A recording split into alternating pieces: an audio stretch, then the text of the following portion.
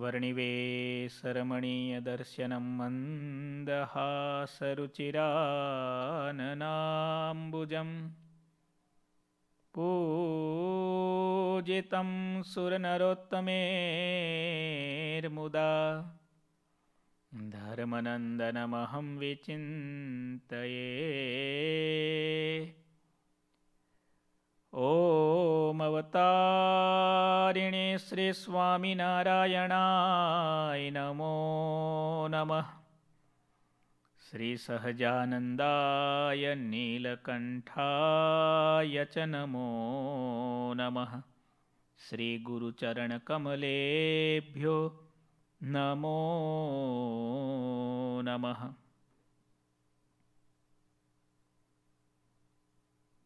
બોલો શ્રી સ્વામિનારાયણ ભગવાનની.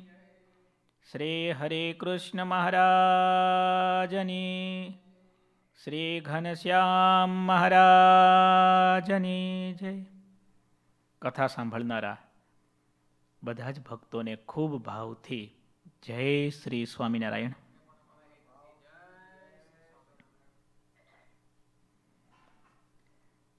શ્રી હરિચરિત્રામૃત સાગર. પૂર સાતમું, તરંગ દસમું આપણે શ્રવણ કરીએ છીએ. અતિ રૂડો અધિક માસ એનો આજે અંતિમ દિવસ. એનો પણ આજે અંતિમ સમય છે. થોડા જ કલાકોમાં આ પવિત્ર સમય આપણા હાથમાંથી સરકી જવાનો છે. લોયાધામ પરિવારના ભક્તોએ ખૂબ સારું ભજન કર્યું, ખૂબ સારું ભજન કર્યું. હરિચરિત્રામૃત સાગરની આ કથા આપણને કેટલી સરસ વાતો સમજાવે છે. આવો, ચાલુ કથા પ્રસંગ ભગવાન શ્રી હરિ સભામાં વાત કરે છે. અમારા સત્સંગીએ કોઈનો વિશ્વાસઘાત ન કરવો. કુસંગી જીવો માતા પિતા ઉપર, પતિ પત્ની ઉપર વિશ્વાસ નથી કરતા અને એવા જીવો સત્સંગ ઉપર વિશ્વાસ કરે છે. અને એવા સત્સંગી થઈને ઘણા તો ઠગ હોય છે. સંતોને પણ ઠગી જાય છે. ત્યારે એમને અતિશય દુઃખ થાય છે. જેમાં શરીર છે, હાલે છે, ચાલે છે એ બધાનું કારણ આત્મા છે. આત્મા દેખાતો નથી, પણ આત્મા છે એટલે આ બધું થાય છે. એમ સત્સંગમાં લોકો વિશ્વાસ મૂકે છે. સત્સંગનો મહિમા વધી રહ્યો છે, બધું દેખાય છે. પણ એ બધાનો પ્રાણ છે ધર્મ. ધર્મદેવ પરિવાર સહિત આ સત્સંગમાં આવીને વસ્યા છે. એમનો પરિવાર કોણ છે? જ્ઞાન, વૈરાગ્ય, ભક્તિ ધર્મના પરિવારમાં ધર્મની પત્ની છે, ભક્તિ. એના બે દીકરા છે, જ્ઞાન અને વૈરાગ્ય. આખા પરિવારે સહિત ધર્મદેવ આ સત્સંગમાં વસ્યા છે. એટલા માટે સત્સંગ વિશ્વાસ પાત્ર બન્યો છે. હવે મહારાજ, કપટી જીવ કેવો હોય એની વાત કરે છે.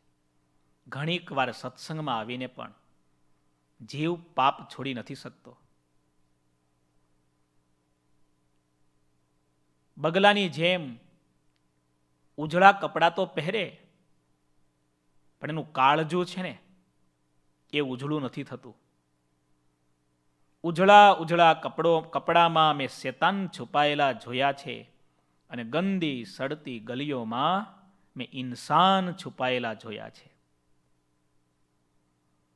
ઉજળા ઉજળા વસ્ત્રોમાં મેં શેતાન છુપાયેલા જોયા છે. સારા સ્થાન ઉપર બેસી, સારા ધર્મમાં બેસી અને માણસ જ્યારે ખોટું કામ કરે છે ને, ત્યારે લોકોને ધર્મ ઉપરથી આસ્થા ઉઠી જાય છે. શ્રદ્ધા નામનું તત્વ આખું ખલાસ થઈ જાય છે. ધર્મનું આટલું દિવ્ય કાર્ય એ ખલાસ થઈ જાય છે, એટલે ભગવાન શ્રીહરિ ભલા થઈને, સત્સંગી થઈને તમે કોઈ કપટ ન કરશો, વિશ્વાસઘાત ન કરશો.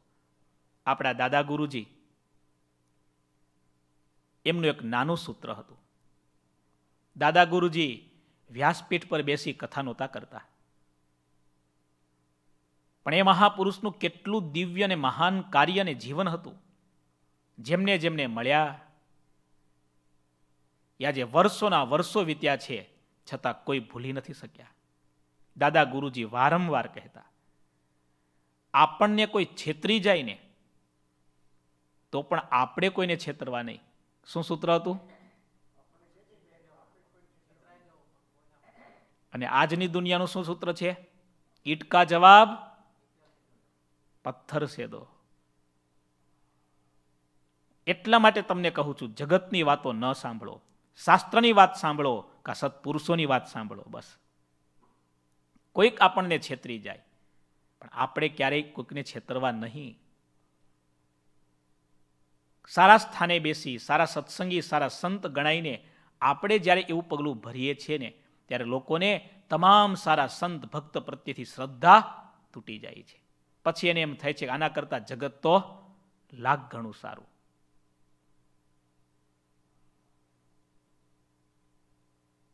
કેવી સરસ મહારાજ વાત કરે છે, જુઓ. કપટી માણસ ખતરનાક હોય છે ખતરનાક. ઇમિટેશન ગ્લિટર્સ મોર ખોટું હોય ને, એ ચળકે વધારે. અધર્મ સત્સંગી હોય કે, સબસે સરસ હિસાર. અધર્મ સત્સંગી હોય કે, સબસે સરસ હિસાર. વરત સત્સંગ મેં કોવું કલહી લગાર. અધર્મી માણસ જ્યારે સત્સંગમાં આવે છે ને, ત્યારે સૌથી શ્રેષ્ઠ સત્સંગી બનીને સત્સંગમાં વર્તન કરે છે. અધર્મી માણસ સત્સંગમાં આવે છે ને, ત્યારે કેવો બને છે? સૌથી શ્રેષ્ઠ બનીને વર્તન કરે છે. સારામાં સારું વર્તન બતાવે, કોઈ તેને લગાર પણ કળી શકે નહીં. Imitation glitters more. કાલ કેતુ સાધુ બને છે, હનુમાનજી છેતરાઈ જાય છે. રાવણ સાધુ બને છે સીતા છેતરાઈ જાય છે. કેમ? કપટી હોય ને એના સ્વાંગમાં જાકમજોળ વધારે હોય છે. એટલા માટે ભગવાનના ભક્તે સાવધાન રહેવું જોઈએ, સાવધાન રહેવું જોઈએ. વિશ્વાસ કરતા પહેલા વારંવાર વિચાર કરો, પછી વિશ્વાસ કરો. શું કહે છે મહારાજ, સાંભળો. અમારા જે જે વચન છે, હવે કપટી માણસ કેવો હોય, સત્સંગમાં આવે પછી શું કરે, એને કેમ ઓળખવો? અઘરું છે. અઘરામાં અઘરું કામ છે હંસની વચ્ચે કાગડો બેઠો હોય ને ઓળખાઈ જાય. પણ હંસની વચ્ચે બગલો હોય તો? બોલો દાદા. ઇન્ડિયામાં મરી બ્લેક પેપર આવે એની અંદર પપૈયાના દાણા નાખી દે. અને કેવા નાખે, ભલભલા છેતરાઈ જાય. કોઈ કલ્પના કરી છે આવી? કપટી માણસ ચોરને ચાર આંખ હોય. સાંભળો, કપટી કેવો હોય? સારામાં સારું વર્તન દેખાડે. અમારા જે જે વચન, તે તલ તલ જેટલા હોય તેને પણ યાદ રાખે અને પાળે. અને બધા વચન મુખથી બોલી બતાવે મહારાજે આમ સભામાં કીધું છે, સ્વામી કથામાં આમ વાત કરી હતી, સ્વામી સભામાં આમ વાત કરી હતી, બધું યાદ રાખે, તલ તલ જેટલું યાદ રાખે. તે વચનોને સાંભળીને હરિભક્તોનું ચિત્ત મુગ્ધ થઈ જાય. બીજા હરિભક્તોને તો એમ થાય કે આના જેવો કોઈ નથી. અધર્મીની બીજી જે કળા છે, તેને પણ કોઈ ઓળખી શકે નહીં. વિવિધ પ્રકારે કથા વાર્તા અને તપ કરીને સત્સંગમાં જોરદાર રીતે વર્તે. આપણા સત્સંગમાં જે ત્યાગી અને ગ્રહસ્થ છે, તેમના એકે એક નિયમ તથા સત્સંગના જેટલા રીતિરિવાજ છે, તે બધું કંઠે કરીને કહે. સત્સંગમાં મોક્ષના ખપવાળાને જે તાન ન હોય, તેઓ તે સાવધાન રહીને રહે. અને સત્સંગમાં એક એવો ધારો છે, જે વિશેષ વર્તન દેખાડે તે સર્વોપરી બની જાય. સત્સંગની આવી રીત છે, વર્તન સારું દેખાય વાણી સારી દેખાય એટલે લોકોની દ્રષ્ટિમાં કેવો બની જાય? સર્વોપરી બની જાય. વર્તન સારું હોય, વાણી પણ સારી હોય. હવે એને ઓળખવો કેમ દાદા? કે આ કપટી છે. જવાબ આપશો? ભીખુ દાદા, જવાબ આપશો? વચનામૃતમાં મહારાજને બ્રહ્માનંદ સ્વામીએ પ્રશ્ન પૂછ્યો, મહારાજ, કપટી હોય અને બુદ્ધિશાળી હોય, કેમ કળિયામાં આવે? મહારાજ બોલ્યા, સ્વામી, બુદ્ધિશાળી હોય એ જ કપટી હોય. બુદ્ધિ વગરનો બિચારો શું કપટ કરી શકે? આ તો બુદ્ધિનો ખેલ છે બધો. કપટીને ઓળખવો એ અઘરું છે. છ મહિના જોડે રહે. ખાતા, પીતા, ઉઠતા, જાગતા, સૂતા, બેસતા બધી ક્રિયામાં નિહાળે. તો ખબર પડે કે આ કેવો છે? કપટી છે. સાગરમાં અદ્ભુત વાત. ખબર કેમ પડે? જો સાંભળો. જે સૌથી સરસ રીતે વર્તન રાખતો હોય, તેને અધર્મી કેમ કહી શકાય? વર્તન સારું હોય તો એ કપટી છે ખબર કેમ પડે? મહારાજને આવો પ્રશ્ન થયો. એનો જવાબ પણ શ્રીજી મહારાજ જ આપે છે. તો સાંભળો ભક્તો, કેમ જે કોઈ ધર્મમાં ચાલતો હોય અને તેને જો અધર્મી કહે, તો તેના જેવો બીજો કોઈ પાપી ન કહેવાય. કપટી માણસ પોતે ધર્મ પાળતો હોય. પણ એ ધર્મ એટલા માટે પાળતો હોય કે બીજા ધર્મ પાળનારા એને ખોટા સિદ્ધ કરવા માટે. સમજાણું તમને? ધર્મ એટલે નથી પાળતો ભગવાન રાજી થાય, સત્પુરુષ રાજી થાય. પણ પોતે સારું વર્તન કરે, સારી વાણી બોલે અને બીજાને ખોટા સિદ્ધ કરે. શું કહ્યું? ધર્મમાં ચાલતો હોય તેને અધર્મી કહે. આવો જે હોય તો સમજવું કે આ કેવો છે? આ ઉપરથી બધું સારું દેખાડે છે. વાણી, વર્તન, વ્યવહાર. પણ માહી શું છે? કપટ છે. કાલે મેં કહ્યું હતું, કળિયુગમાં કપટ એટલું ફૂલવાનું છે, ફાલવાનું છે. કળિયુગના મુખ્ય ધર્મમાં કપટ લખ્યું. દંભ ડોળ આડંબર, પાખંડ, પ્રપંચ, છળ, આ બધા કપટના સ્વરૂપ છે. એક જ ફેમિલી છે. એક હશે પણ હે અઘરું પડશે ભાઈ, ઢાકવું કપટનું કામ જે. એક હશે પણ, અઘરું પડશે ભાઈ, ઢાકવું કપટનું કામ જે. કંઈક બીજા તારે એ લડવા પડશે, કંઈક બીજા તારે એ કરવા પડશે કંઈક કપટના કામ માટે તો છોડ કપટનું કામ જી. એ માટે તો છોડ કપટનું કામ જી. છોડ કપટનું કામ એ હરે મારાજી છે મારો રામ. એ માટે તું છોડ કપટનું કામ જી. કપટ કેવું છે? એક ભૂલ કરે ને અને સાવધાન ન થાય ને તો બીજી હજાર ભૂલ કરાવે. અસત્યનું સ્વરૂપ છે કપટ. તમે જાણો છો, દીકરો હોય, પપ્પા પૂછે, એક વાત ખોટી બોલે એ ખોટી વાતને સાચી સિદ્ધ કરવા માટે છોકરો બીજી વાર ખોટું બોલે, ત્રીજી વાર ખોટું બોલે, હજાર વાર ખોટું બોલે, પણ અંતે તો પાછો પકડાઈ જાય. એના કરતાં દાદા પોતાની ભૂલ સ્વીકારી લે તો. સમજી ગયા તમે? ભૂલ કર્યા પછી ભૂલને સ્વીકારી લેવી એ નિષ્કપટ કહેવાય. અને ભૂલ કર્યા પછી પણ એ ભૂલને સુવાળી સાબિત કરવી એને શું કહેવાય? કપટ કહેવાય. સમજાણું તમને? હજી સમજાવું. આને ઓળખવું અઘરું છે.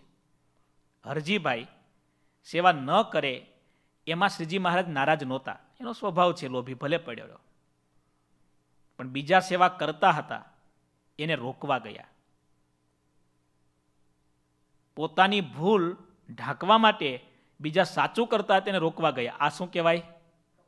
આ કપટ કહેવાય, આ છળ કહેવાય, આ પ્રપંચ કહેવાય. અસત્ય આવું કરાવે છે. આજે ભગતે કીર્તન સરસ ગાયું ને એક કપટી ન તરે મહારાજ, શરણ આયે સબહી તરે. એક કપટી ન તરે મહારાજ.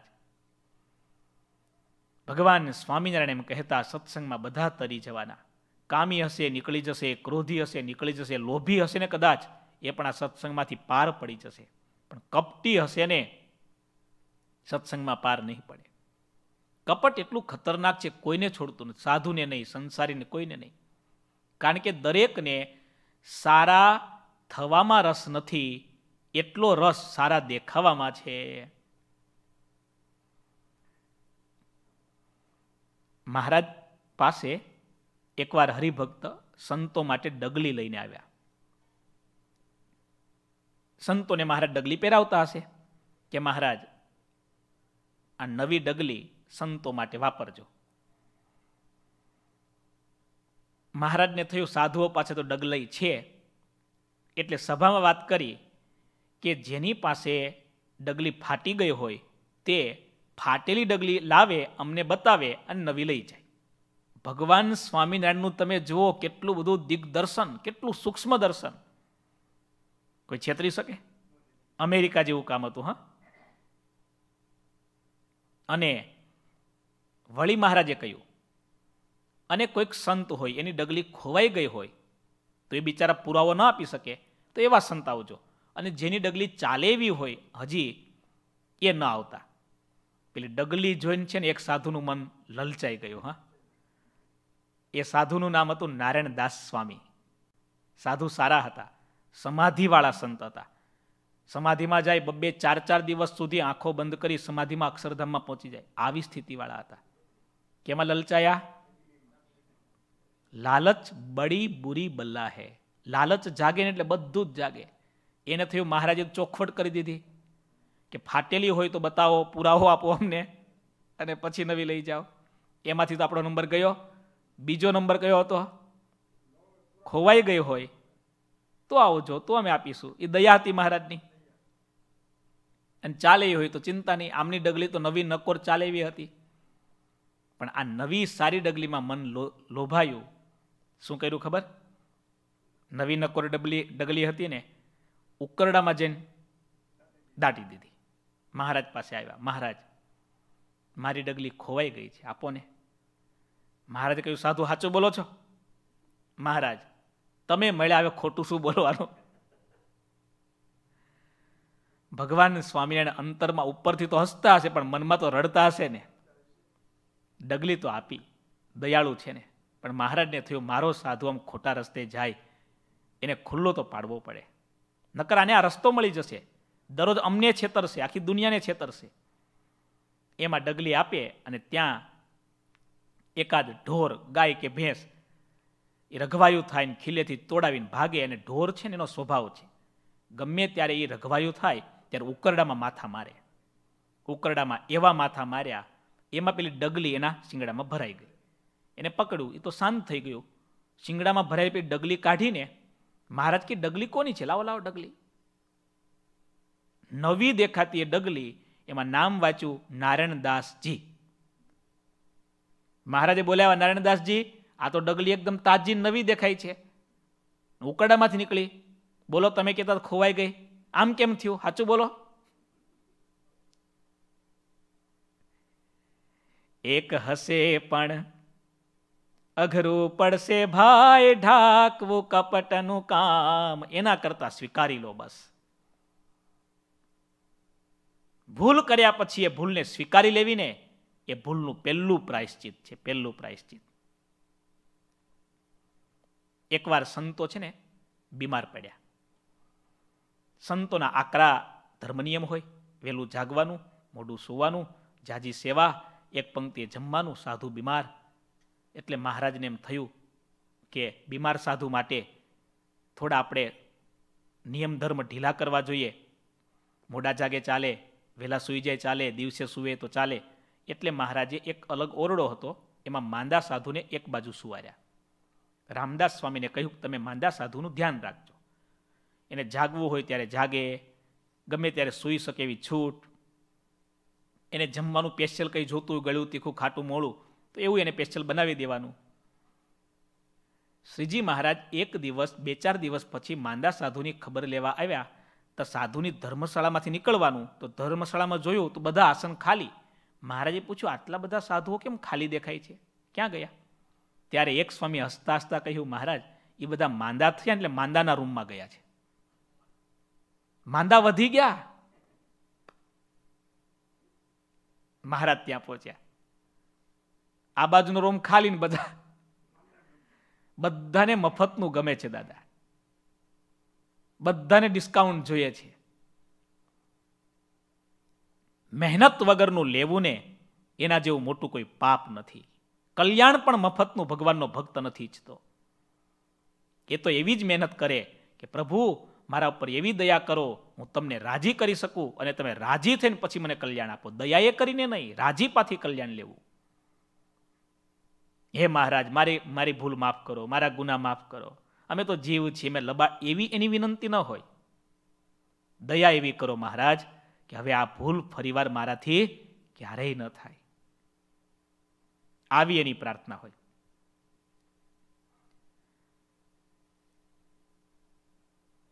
પ્રેમાનંદ સ્વામીએ મહારાજ પાસે માગણી કરી છે ને?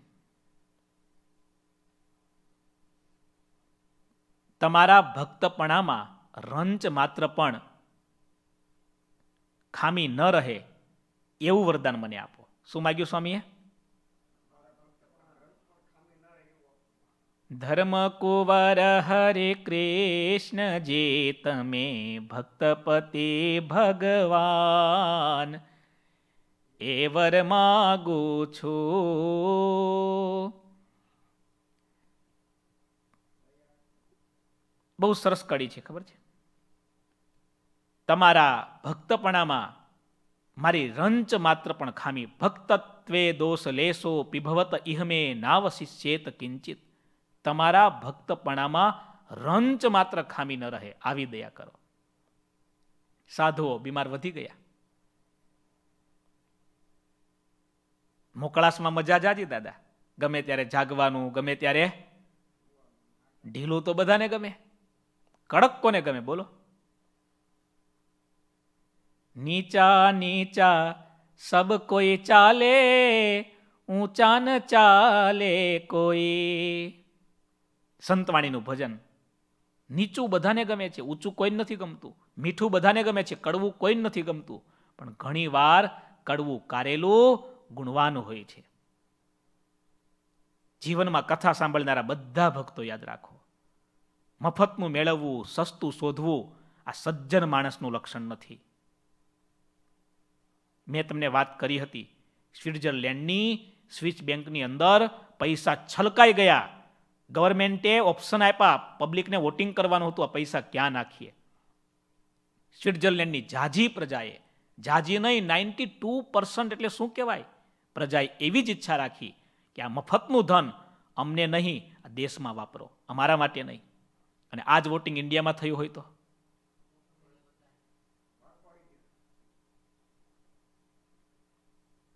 મફતનું મેળવવું અને સસ્તું શોધવું આ સજ્જનનું કામ નથી. This is not a job of honest person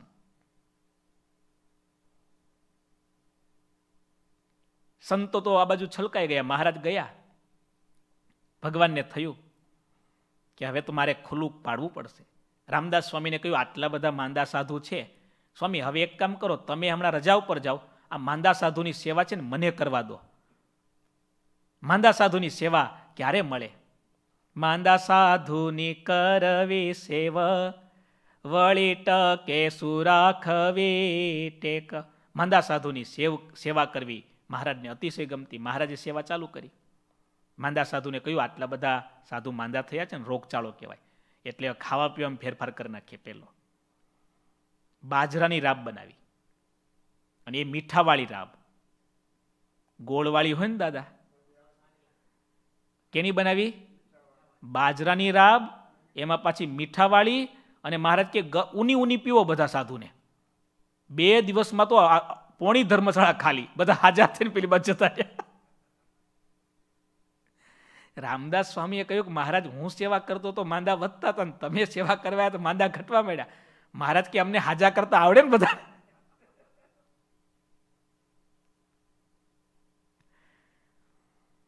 કેવું અઘરું કામ છે ને?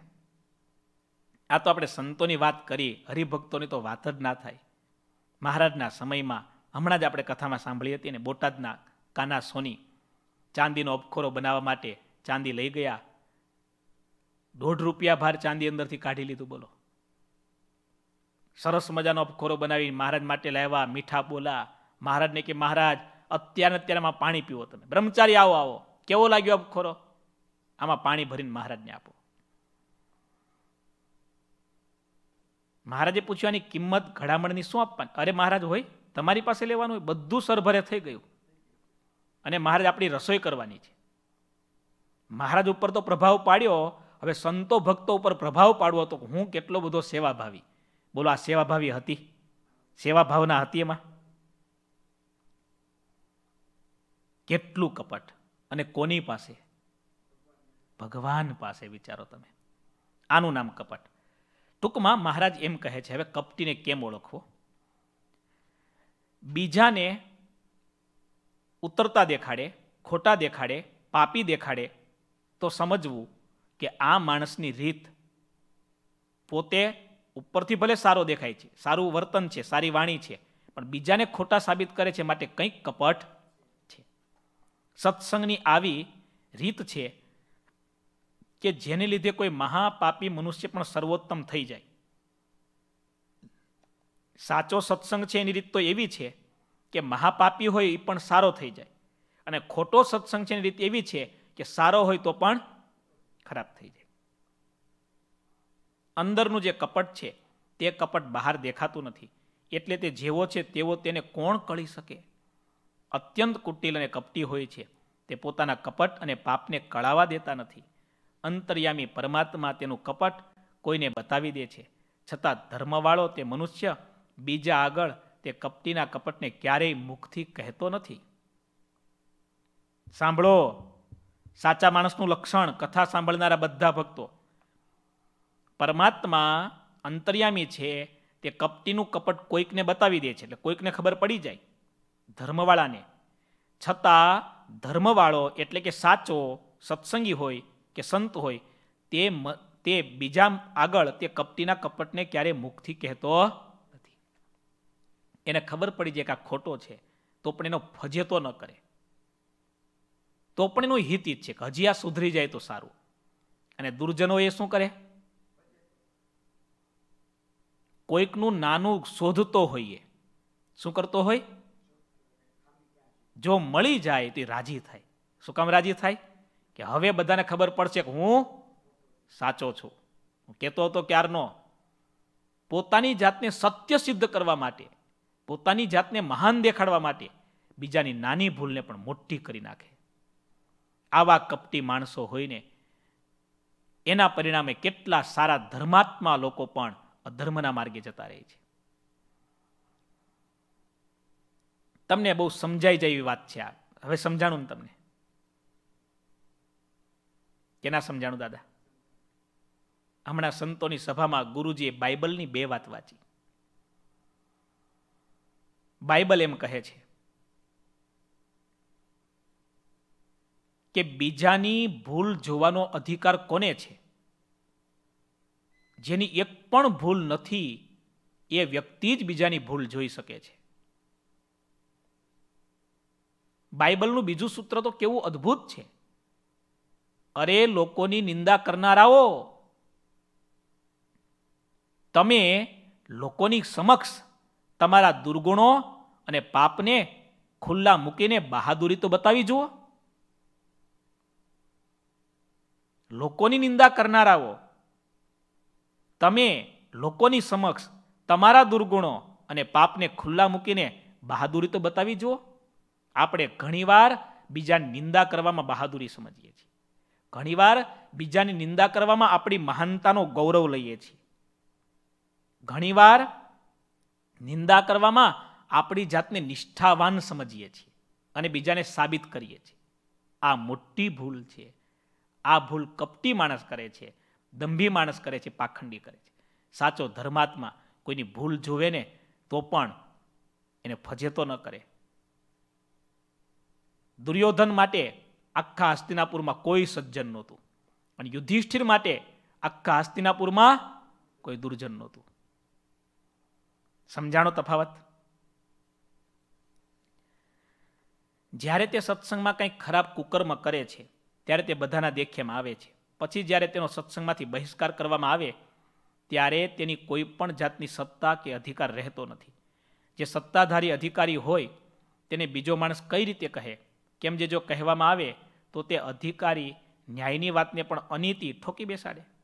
જેના હાથમાં અધિકાર હોય, તે બીજાઓને જ બીજાઓને જ દોષમાં લઈ લે છે, વાંકમાં લઈ લે છે, અર્થાત તે પોતાનો દોષ સામેવાળાના ઉપર ઉઢાડી દેશે. એક તો કપટી હોય અને મોટો અધિકાર મળી ગયો હોય.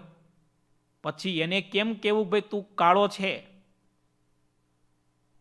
એટલા માટે કપટી માણસ સારું વર્તન દેખાડી, પોતાની જાતને સર્વશ્રેષ્ઠ દેખાડી, ઊંચો અધિકાર મેળવી લે.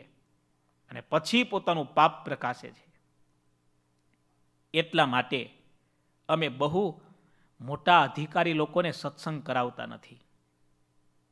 કેમ જે કોણ જાણે આગળ જતાંય કેવા નીકળે. તેઓ તો આખા સત્સંગને ડૂબાડે છે. સાંભળજો ભગવાન સ્વામિનારાયણની રીત, હા. અનેક વાર ભગવાન શ્રીહરિએ આ વાતો કરી છે. વચનામૃતમાં મહારાજને વિનંતી કરી, મહારાજ, મોટા માણસોને આપ સત્સંગ કરાવો તો સમાસ વધારે થાય. ત્યારે મહારાજે ઘસીને ના પાડી દીધી. ધન સમૃદ્ધિથી છલકાતા મોટા માણસો અને અમારે ક્યારેય બને એવું જ છે નહીં. એને ધન અને સંપત્તિનો અભિમાન હોય. અમારે ત્યાગ અને વૈરાગ્યનું અભિમાન છે. કોણ કોને નમે?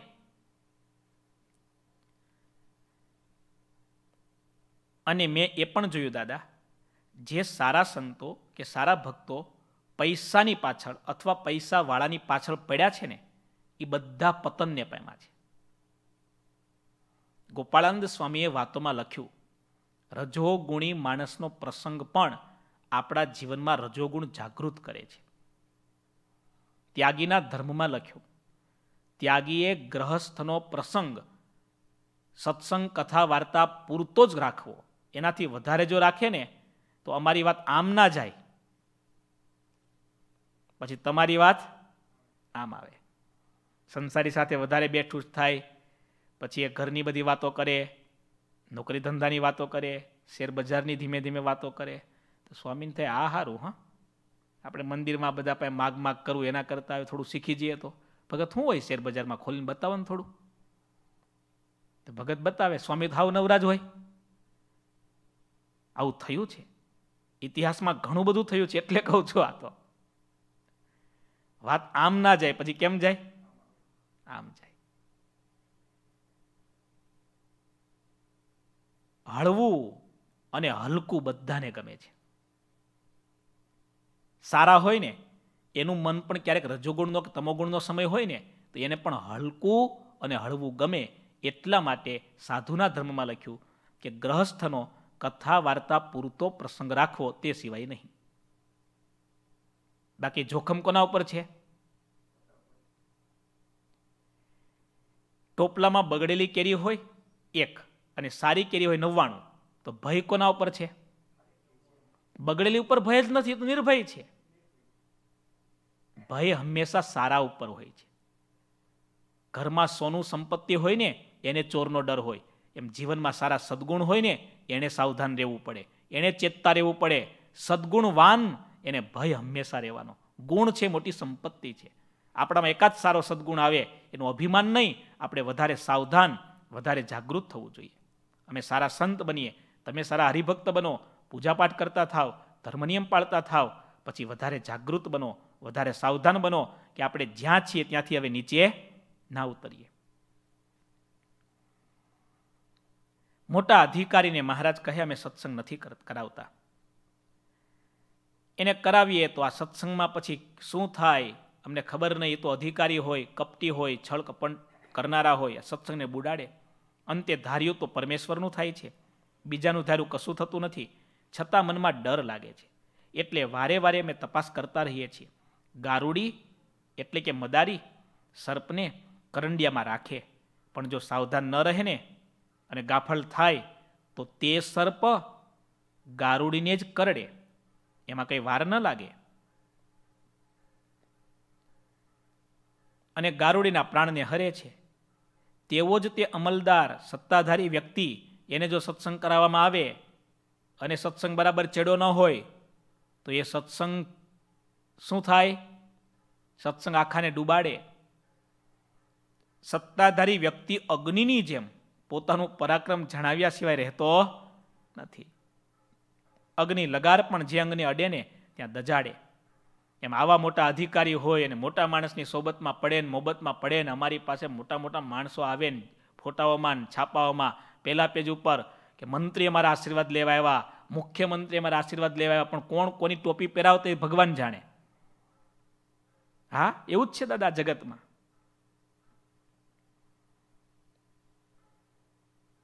પાખંડ બહુ ખતરનાક છે, બહુ ખતરનાક છે. રાજાઓના પણ જે મોટા રાજાઓ છે, તેમણે જ્યાં સુધી સત્સંગ નથી જાણ્યો, અર્થાત આપણા સત્સંગમાં નથી આવ્યા, ત્યાં સુધી બધા હરિભક્તોને આનંદ છે. અને આખી સભા હરિભક્તોના વૃંદ જેવી દેખાય છે, જુઓ. મોટા રાજા મહારાજાઓ સભામાં નથી આવતા ની સારું છે. એ આવે ને તો એકને હાચવામાં નવ્વાણું ગુમાવવા પડે. આ આખી સભા જુઓ, એકે એક એકાંતિક હરિભક્ત દેખાય છે. અત્યારે આપણી આખી સભા એવી છે, હરિભક્ત સિવાયનો અન્ય કોઈ માણસ નજરમાં નથી આવતો. એક સરખા ભક્તો છે. એકાંતિક જીવન દેખાય છે. આમાં એક જ કાગળો આવી જાય ને, તો હંસની સભાને બેહુદી કરી નાખે. અરે આવી સભાના કોઈ દર્શન કરે ને, તો પરમપદને પામે. શ્રીહરિ વાત કરતા હતા, ત્યારે હરિભક્તો સહુ શ્રીહરિની સમક્ષ હાથ જોડીને બોલ્યા, અરે પ્રભુ, આપની વાત હવે અમને સમજાણી. તેમાં સૌથી પહેલાં સુંદરજીભાઈ ઊભા થયા, હાથ જોડીને બોલ્યા, હે મહારાજ, આપ ભુજનગરમાં પધાર્યા. શહેરમાં જેટલા વર્ષ સુધી રહો અને વર્ષમાં જેટલા સમય આવે અને સમયા ઉપર જેટલા સંતો અને હરિભક્તો આવે એ સમયાનો ખર્ચો, સંતો હરિભક્તોનો તમામ ખર્ચો જે કંઈ થશે એ બધો ખર્ચો હું તમારા પ્રતાપથી ઉપાડીશ. હું હરખ ભેરે બધો ખર્ચો આપીશ. હવે સત્સંગ ચડ્યો. સમજાણી વાત તમને? આખી વાત હવે અઠવાડિયાની કથા જો સાંભળી છે તમે, તો આ મગજમાં ઉતરશે. ત્યારે ગંગારામ મલ બોલ્યા, હે મહારાજ, સમયો કરો, એમાં પંદર દિવસનો ખર્ચ હું આપીશ. બીજા જે હરિભક્ત હતા, તેમણે પણ પાંચ પાંચ દિવસનો જેટલો ખર્ચ થાય તે બધો આપવાની વાત કહી અને વિશેષમાં રસોઈ પણ આપશું એમ કહ્યું. પ્રગટ હરિ ફરીવાર અહીંયા ક્યારે આવે અને આપણે તેમની સેવા ક્યારે કરીએ? ગયો સમય ફરીવાર કોઈને પણ મળતો નથી, આવું હરિભક્તો વિચારતા હતા. ભગવાન શ્રીહરિની કેટલી માર્મિક ટકોરો હતી. આ અઠવાડિયાની કથા તો છે ને, દરેક મંદિરોમાં દરેક સાધુ અને ગ્રહસ્થ બધાને કામ લાગે છે. ગ્રહસ્થ અને સાધુ બંનેને કામ લાગે એવી છે. મહારાજે સાધુ માટે કેવી ટકોર કરી? તમે ખબર છે ને સાંભળ્યું ને, કે સાધુનું નિર્લોભી વર્તમાન દ્રઢ હોય ને, તો હરિભક્તો નજીક આવશે. સાધુની દાનત લેવામાં ન હોવી જોઈએ. સાધુની દાનત હરિભક્તના ખિસ્સા ઉપર નહીં, હરિભક્તના હૃદય ઉપર હોવી જોઈએ. આ સત્સંગની સાચી રીત કેવી છે? ગરીબમાં ગરીબ માણસ પણ આ સત્સંગમાં નભી શકે એવી રીતે જે સત્સંગ કરે છે, એને શ્રેષ્ઠ સત્સંગી જાણવો, ભગવાન સ્વામિનારાયણના શબ્દો. ઘણીવાર વીઆઈપી કલ્ચર ચાલતું હોય. પૈસાવાળાનો જ બોલબાલી, બોલબાલા થતી હોય, એનો સત્સંગ દેખાતો હોય. એ સત્સંગની રીત નથી. સાધુની તો સમાન દ્રષ્ટિ હોય, બધા ભક્ત એક સરખા હોય. હા, જેની જેવી સેવા હોય, એ બિરદાવવા પડે. આ વ્યવહાર છે. વચનામૃતમાં મહારાજે વિવેક બતાવ્યો કે કોઈ લોકની દ્રષ્ટિએ મોટો માણસ સભામાં આવે, તો એને આગળ બેસાડવો. ત્યાગી હોય અને જ્ઞાની હોય, તેણે પણ આટલો વિવેક રાખવો અને ન રાખે તો મોટું દુઃખ થાય. વચનામૃતમાં શ્રીજી મહારાજે દ્રષ્ટાંત ઉદાહરણ સાથે વાતો કરી. વિવેક તો રાખવો જ પડે દાદા. ગ્રહસ્થ ભક્તો માટે પણ ટકોર કરી કે જેટલી તાકાત હોય ને, એ પ્રમાણે મહારાજની સેવા કરી લેવી. શક્તિ છે ને સેવા નથી કરતા. એ ભગવાનના ગુનેગાર છે. પૈસાવાળા લોકો જગતમાં હંમેશા પોતાનું સ્ટેટસ દેખાડવા ઈચ્છતા હોય. પણ સત્સંગમાં આવે ને, ત્યારે હંમેશા એ ગરીબ લોકો કેટલી સેવા કરે છે ને એ જોઈને સેવા કરે. કે બધાએ પચા આપ્યા તો હવે અમે પણ પચા આપીએ. પણ ભગવાને તમને આ કરોડો આપ્યા છે એનું શું? શ્રીજી મહારાજે કેટલી સરસ પૈસાવાળા માટે કે ગરીબ માટે, ત્યાગી માટે કે ગ્રહસ્થ માટે સત્સંગની કેવી રીત હોવી જોઈએ, કેવો વ્યવહાર સત્સંગમાં હોવો જોઈએ, બધા માટે ટકોરો કરી. તમે બધા ભક્તો સેવા કરનારા છો, સત્સંગ કરનારા છો, દાન ધર્માદો આપનારા છો, મંદિરે આવનારા છો, આ અઠવાડિયાની કથા, સાગરની છેલ્લા એક વીકની કથા દરેકે ધ્યાનથી સાંભળવી જોઈએ. આપો તો એવી રીતે આપો કે મહારાજે આપણને કેટલી કૃપા કરી કે આપણે મહારાજને, મહારાજનું આપેલું મહારાજને માટે વાપરી શકીએ. અભિમાનથી નહીં આપવાનું. અહોભાવથી આપીએ. બધા હરિભક્તોનો આટલો બધો ભાવ દેખીને શ્રી હરિ ખૂબ રાજી થયા અને બોલ્યા, હવે અમે અહીંયા સમયો કરીશું. શ્રીજી મહારાજ, હવે રાજી થયા દાદા. આટલી લાંબી કથા પછી તે સાંભળીને બધા હરિભક્તો મનમાં ઘણું રાજી થયા. પછી કચ્છ દેશના ચારે બાજુના હરિભક્તોના જેટલા ગામ હતા, તેના નામ લખીને યાદી કરી જે જે ગામમાં હરિભક્તો હોય, તેમાં જે મોટેરા હોય, તે બધાના નામ લખ્યા અને પછી તેમને પત્ર લખીને મોકલ્યા. ધનતેરસને દિવસ તો બહાર ગામના બધા હરિભક્તો આવી ગયા, સંતો પણ અપાર આવ્યા, સહુ શ્રીહરિને પગે લાગ્યા, સુંદરજીભાઈને ઘેર વિવિધ રચનાવાળો મંડપ કરાવ્યો તેની વચ્ચે એક સુંદર સિંહાસન ગોઠવ્યું હતું. શ્રીહરિ આવીને તે સિંહાસન ઉપર બેઠા. બધા સંતો અને હરિભક્તો તે મંડપમાં આવ્યા. સભા સંકળાશને લીધે ઘણી ગીચ થઈ ગઈ હતી. ચારે બાજુ ઉત્સવનું વાતાવરણ છવાયેલું હતું અને સંતો વાજિંત્રો વગાડીને ગાતા હતા. ઇતિ શ્રી સહજાનંદ સ્વામી શિષ્ય, સિદ્ધાનંદ મુનિ વિરચિત, શ્રી હરિચરિત્રામૃત સાગરના, સપ્તમ પૂરમાં શ્રી હરિએ નિષ્કપટી અને કપટીની વાત કહી અને ભુજમાં દિવાળીનો ઉત્સવ શરૂ કર્યો. એ નામે દસમો તરંગ સમાપ્ત થયો. બોલો ઘનશ્યામ મહારાજની જય.